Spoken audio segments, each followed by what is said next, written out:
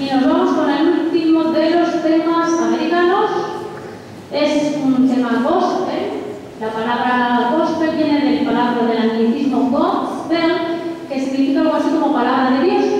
El gospel nació ya por el siglo XVIII, se forjó en las iglesias afroamericanas protestantes de Norteamérica eh, y era un tipo de música pues, más afín quizás al fiel para eh, atraerlo a la iglesia.